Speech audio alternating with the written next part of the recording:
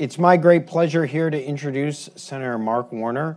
Uh, Senator Warner really uh, embodies, in a way that I think few public servants do, kind of the full uh, panoply of this conversation. Uh, prior to entering public life, Senator Warner was a, a venture capitalist who founded, and a capitalist who founded one of the largest telecommunications companies in America. Uh, he, uh, after succeeding in the private sector, turned to become the uh, join the public se- uh, sector. Served as governor of the Commonwealth of Virginia, uh, and is now uh, in his second term as a senior senator from the state of Virginia. So, if you could welcome, join me in welcoming Senator Mark Warner. Thank you. So, so I, I, I want to start by kind of asking what motivated you've been a leader in this thinking about the gig economy, fintech kind of all these different worlds melding together. And I think few people appreciate the breadth of what you're in charge of in the United States Senate, right? You sit on the banking committee, the finance committee, the commerce committee, the intelligence committee, right? Literally in charge of. I'm not sure that makes me in charge of anything. dealing with the entire panoply of issues in the United States and the world. And you have the same number of hours in the day as every single person in this audience. What made you choose to spend so much of your time focusing on this issue? Well, first of all, thank you for having me, Aaron. And my apologies for being late. I had the day from you know where, where you have a one hour dental appointment that turns into a three hour dental appointment. So um, if I'm a little uh, cotton mouth, uh, excuse my, um, uh, excuse my presentation. Um, you know, I'm a big believer that a lot of politics should be more defined future versus past rather than left versus right. And I was lucky enough back in the early 80s to get involved in the wireless industry. I'd gone to law school at Harvard, and all my law school classmates were all at big fancy law firms. And I kept trying to say, you know, we got to get involved in this whole cell phone business. Every one of them said to me, Warner, you are so crazy. Go get a real job. Who's going to want a cell phone? they are still practicing law, and I got rich off of that. I, I co-founded Nextel, and at that moment in time, people anticipated it would take 30 years to build out a wireless network, and at the end of those 30 years, would be 5% penetration. Obviously, conventional wisdom was wrong. So after the 2014 cycle, I started thinking, you know, let's take a look at this changing nature of the economy. Um, I got initially interested in the gig uh, and on-demand platforms. But relatively speaking, that is still a fairly small share of our workforce. We're still kind of in the hockey stick stage where it's going up. But what it led me to is, is something I think much more profound and frankly that I didn't fully appreciate that most large corporates starting in the 90s, if you were not core to that corporate's function, you got outsourced. Whether it was literally abroad or figuratively you know, firm here at uh, here at home, and we see that with people like uh, you know cafeteria workers, janitors, what have you. And what, what's happened over the last 25 years is we now have a third, at least a third of the workforce that is in some level of contingent work. 1099 independent contractor, two part-time jobs, short-term W-2. Uh, but the problem with that, and there are some great opportunities there, flexibility and other things, the challenge comes is that we're the only industrial nation in the world that built its social contract based upon your work status. You only get unemployment, workman's comp, disability, health, retirement, if you are in effect uh, a full time employee. That to me is a fundamental problem. Uh, we've got to create, I believe, a social insurance network that meets workers where they're at, and that, to my mind, means a portable, portable benefit system. Who runs that system? How is it composed?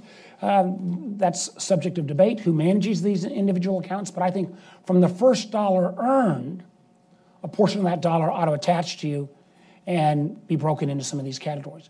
What particularly interested me in fintech is because of this change in the workforce, what we have now is enormous income volatility.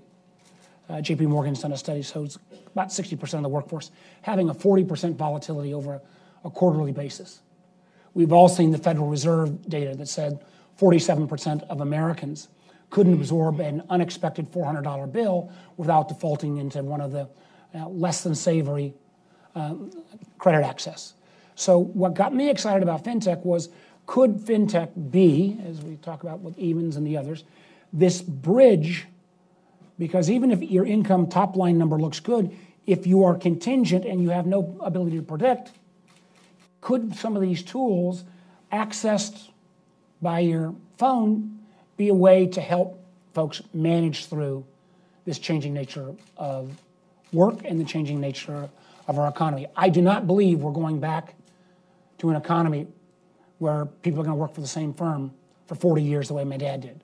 So I think we have to be willing to kind of lean forward and, and you know, meet workers where they're working. That means a portable benefit system. It also means fintech, while there are enormous challenges with it, has an opportunity to bridge part of that, um, uh, that new social contract. Last point, and then we'll get to the question, which is, you know, if you were thinking about a social contract in the 21st century, I would argue that one of the most essential components of that social contract ought to be that emergency four or five hundred dollar fund that you can draw down, say once a year. Because with the level of income volatility, stuff happens. And in the old economy, you might not make much, but you at least had predictability. You don't have that predictability, and fintech could be um, one of the tools to bridge that. No, I, I uh, here. I think I think you're right, and I think that's what uh, Quinton was talking about with Even about the need to bring new products to address that the problem, and it's often misunderstood in small dollars. Often the problem is income volatility, not expense volatility. Right.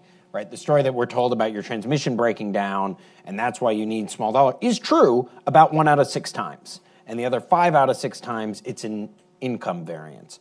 Uh, but I want to pick up on a, a, point that Dave made. Uh, uh, uh, uh, from Sunrise Bank, which was just stunning to me to hear bankers say a checking account isn't going to save your life. And he's right. And I'll tell you a story, you know, life imitates art. So on Saturday morning, I went to the, my local bank branch in Silver Spring, Maryland to deposit a check with my three year old daughter. And training early. Yes. Lollipop equal bank equals lollipop equals good is the equation that I've impressed into her. Um, but what struck me was there was a, a teller, a, a woman, uh, uh, uh African American actually, at the teller next to me who comes up and says, Here's a check. I need this to clear. When will it clear?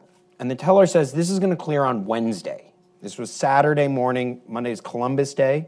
This check's going to clear Wednesday. She said, Well, I have some credits coming up, some credits on my debit card that are automatically going to come up between now and Wednesday. I need this check to cover them. And the teller said, Well, I'm, I'm sorry, it's not going to clear. She said, What's going to happen? She says, well, You're going to be charged an overdraft fee. Well, how much is that? That's 36 bucks. Was that only going to be once, she asks, or for each one? Because I have a couple of these. And the teller says, each one. She says, what am I going to do? The teller looks at her. Checking account isn't going to save your life. The woman behind me in line goes to her and goes, why don't you go to the check casher around the corner? They're only 20 bucks. And you can come back here with cash. And the woman looks to the teller and goes, well, will that work? And the teller goes, yeah, the cash will clear in your account today. So she walked out of the bank. This is a banked person being sent to a check casher because our payment system can't deposit a check from Saturday morning until Wednesday. That's crazy. I mean, it's crazy. And it is one of the, and, and again, the previous panel were the debate between financial institutions and fintech. Who is going to, who's going to shrink that gap and do it with as least friction as possible? Um, it's one of the reasons why I am very intrigued uh, on the whole question around blockchain. You know, obviously there are, there are transparency issues. We held one of the first hearings on Bitcoin. It took me a long time to kind of wrap my head around that uh, and how that gets implemented. Uh, but uh, you know, it is crazy in the 21st century that it takes four days to clear for a check to clear, and you are both creating a business opportunity and you're also putting an enormous burden on a wide segment of Americans who just don't have that flexibility to go the, that extra week. Right. That has no impact to me. The check clearing time doesn't matter to me, doesn't matter to a lot of people in the audience, but to the 75% of Americans living paycheck to paycheck, that's real money out of their pocket. So how are we going to, I mean, how is government, what's government's role to fix this problem? Well, I think government's role is to, one, encourage innovation. Two, it would be when we think about all of the, particularly for that low income person, the number of bill pay bills due to governmental type entities, whether it's the water company, the power company, you know, other kind of necessities of life, your taxes. You know, I think we really need to work with the incumbents on having a more flexible uh, payment schedule in terms of what time of the month those bills are due. Um, I think one of the one of the interesting things that people have attracted that have attracted people to the gig economy is the fact that oftentimes that results in immediate payment.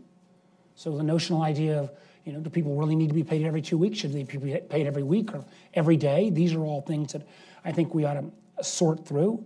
Um, and I think you know, if government at least starts with a more flexible basis on when it expects its payments yeah. to come in, that would be at least a step in the right direction. Well, I, I, I think that'll be right. And I'd, I'd, add, I think the Federal Reserve is the check processing clearing center of, of the country ought to get with the times and either force that or have industry force it. I think one of the nice aspects of blockchain and these other technologies that are coming out is they're motivating the incumbent banking network to move faster. And you see things like real time uh, settlement from the clearinghouse. I mean, the banking industry, I think, is seeing this threat uh, remember, of fintech it, and an opportunity. But they're seeing a threat. But remember, for a long time, it's been a great profit center.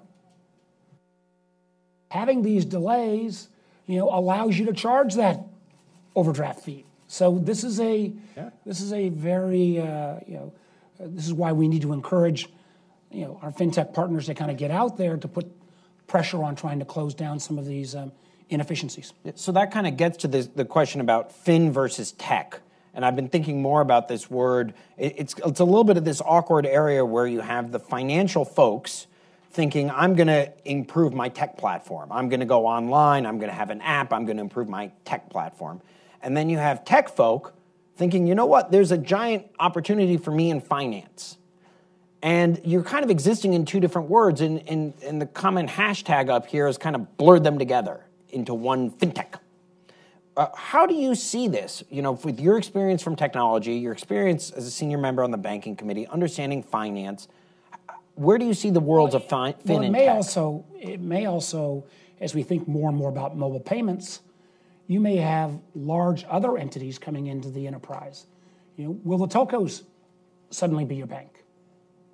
Will some of the social media com- companies who so much in terms of how we get our information, you know, will Google be your bank? Uh, so I think this is a, a kind of a little bit of a wild west space. Um, the challenge is how we allow innovation. Uh, I'm not there on the fact of a complete safe harbor because you could see bad products arise very quickly, and you know, how do you roll those back? I am intrigued with what's happening with, in the UK, where they've got a, the Bank of England is, I understand, doing kind of a fintech accelerator. Um, this is a space that we're going to, you know, as, as somebody who's interested in this, I need your input on how we get this right. I mean, because we've we've got to. I see my friend Jonathan Miller here. We went worked long and hard on on pieces of Dodd Frank. Some parts we got right. Some parts probably need some revision. But you know, you've got consumer protection, you've got safety and soundness. Where does all this fit within a fintech new product world? Um, I do think some of the comments about if you've got FDIC insurance, there is obviously going to be a higher bar on, on Prudential, but there also has to be a consumer protection piece on the front end because we have seen uh, some of these products be almost advertised as too good to be true, and they have been too good to be true. They've actually ripped off folks. So I'm anxious to have input on how we how we balance this. That's incredibly important because traditionally my marker for is a product predatory is is it marketed on yes and fast. If something says you're pre-approved immediately, beware, right? That's usually you know uh, uh, uh, a telltale sign. Uh, and there are reasons, behavioral psychology reasons, as Nadine pointed out, that people have been denied credit that's a huge psychological cost, and their desire to avoid the potential for denial again will, will motivate them, even if the terms of that product are less than stellar. Mm-hmm. But on the flip side, one of the beauties of fintech is offering both uh, a decision and immediacy, whereas the delays in the existing system. But I want to I want to kind of think a little bit about the future. I mean, you know, you saw cell phones when folks didn't. right? You know, we when I was in Congress and we did this this uh, Check 21, it was all about being able to deposit checks in an ATM, and nobody saw this smartphone thing in your bed, in, in anywhere you want to deposit a, a, check, and you know, let alone Apple Pay and all these other, you know, new innovative forms. What you know, if we're back here in in five years, and you have the beauty of thinking in six year increments from time to time, a little bit. Thank our founders for at least getting getting one, giving one person in Washington a longer perspective. Although, our, in terms of our record of output, even in six-year increments, has been a little mixed. Um, uh, where are we? What are going to be these innovations that you think, if all the keys are turned right, if government is a constructive partner, if innovations work, what are the things you're looking for that could change the fintech landscape if we're back here again in four or five years' time? Well, I think if, if we see the fintech entities writ large improve access to credit, improve transparency. If we think as well, you know, one of the, you know, if, if gig and the changing nature of the social contract is not big enough, I also increasingly am worried that uh, you know, modern American capitalism in many ways is not working for enough people. And that is partially driven by enormous focus on short termism over long term value creation, which I think is a cancer eating at our system. And one of the areas where people are, uh, that, that, troubles me the most is you know, because people are not going to work for the same firm for a long time. Used to be if you went and worked for, this, worked for the same firm and you got hired on the factory floor, that firm would invest in you and upskilling you over a period of time because chances are you're going to work there for 20 years. Now, there's virtually no rational incentive for any firm to invest in the upskilling and training of people say that make below 65,000 or 75,000. So when you've got globalization, when you've got technology, when you've got artificial intelligence, th- that wide swath of Americans are understandably pretty upset. And you see that from both ends of the political spectrum. I don't think it is a overstatement to think that fintech could be morphed into not only kind of better economic training, but there could be a whole series of other training delivery through your mobile device that might allow people to become upskilled. So I'm I'm thinking that you know how do we get how do we get those incentives right? One, I would argue that um, um, we need to think about and I know this is a bit off topic here, but you know if we need to think about incentives. I believe business generally does a better job of workforce training than government but potentially even looking at incentives that might go from a deduction to a credit and have that credit worth more than a dollar so that the company receives the benefit even if the person moves on. We've got to recognize we've got to have a much more aggressive way to upskill people in the workforce, particularly low and moderate income folks. And there will be an enormous number of intersection points.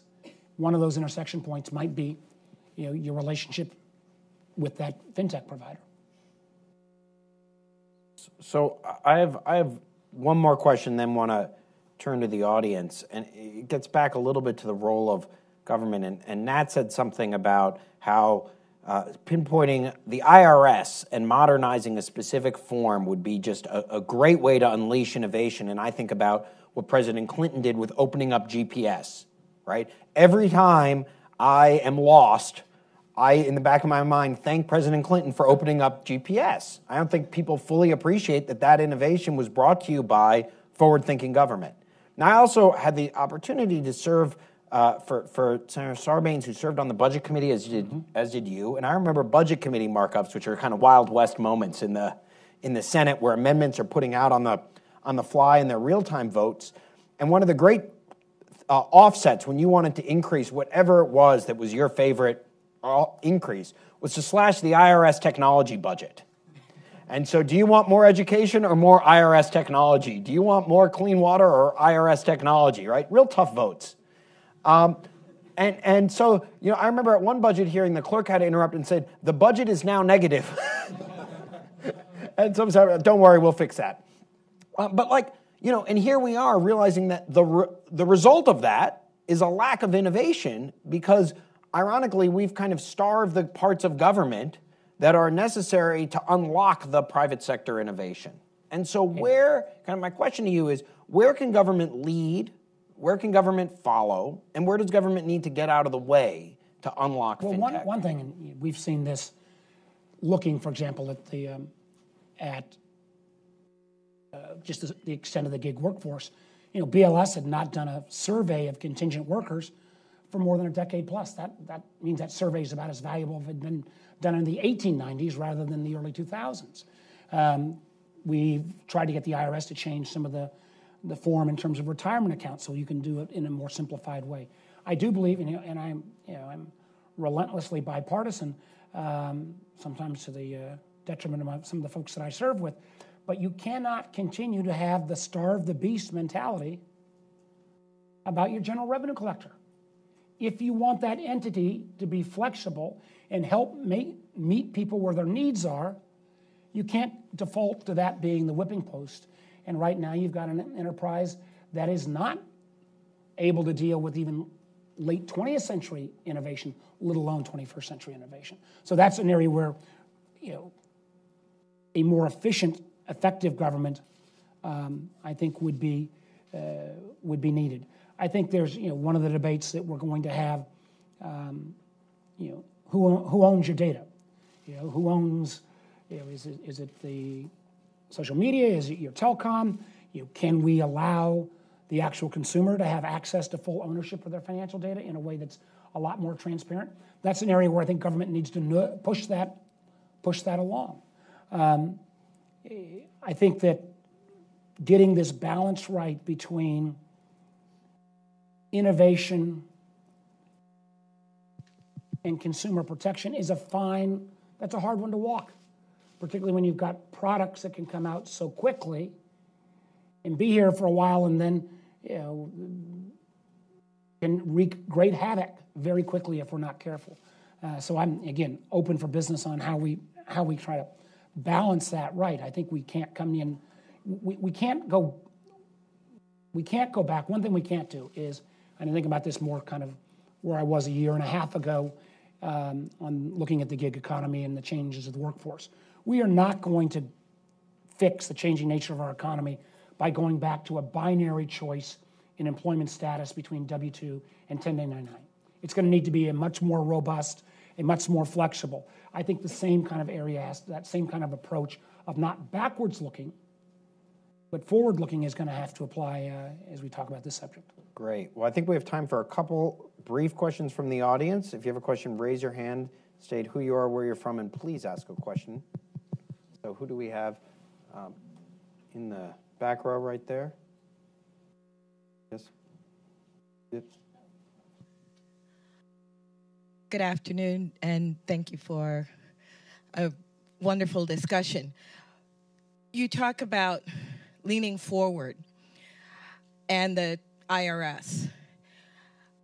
Can we accelerate B Corp becoming the standard corporate structure?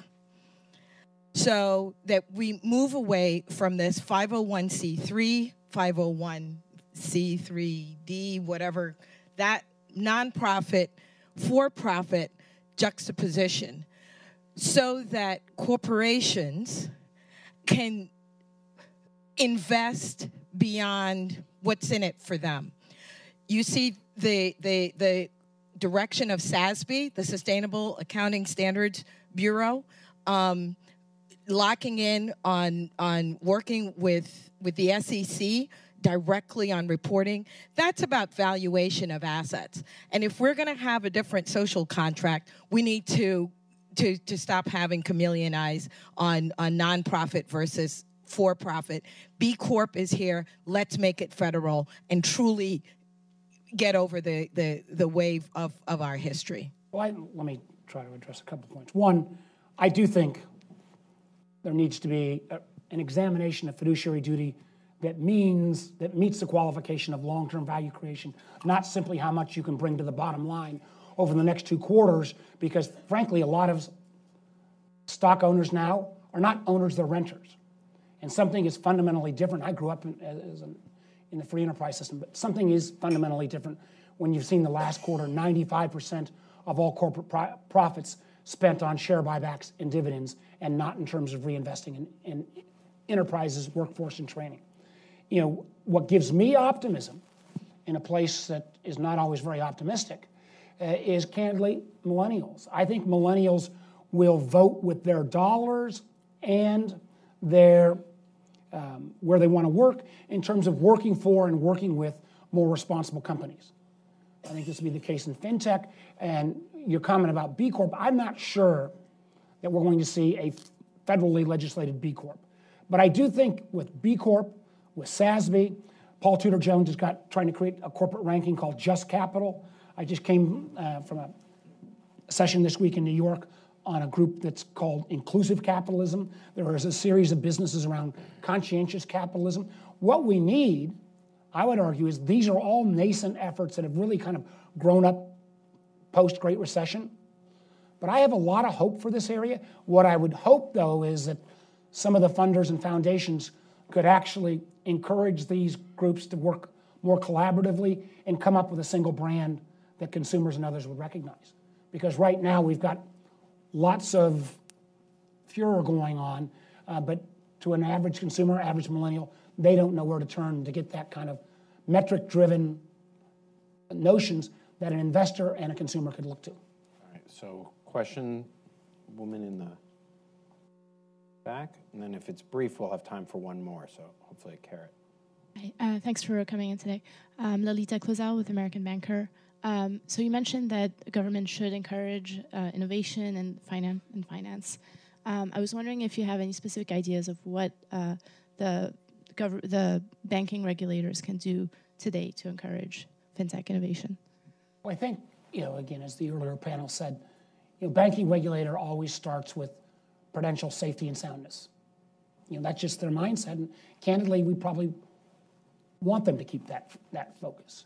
I think one of the most important things that could happen is within the regulators, a lot more exchange between where fintech is at, more kind of back and forth discussion, regulators bringing on more people that are more versed in technology. I think this is less a single regulatory change than a recognition that the world is going to change, and it's going to change a lot faster than the regulators, I think, we recognize. And they're going to have to get up to speed on the on the tech space, um, I think, to kind of get that right. I'm not very satisfactory answer, but I don't think I don't know what this silver, you know, regulatory change that's going to it's going to get it right. Great. Time for one last uh, one last question, um, ma'am.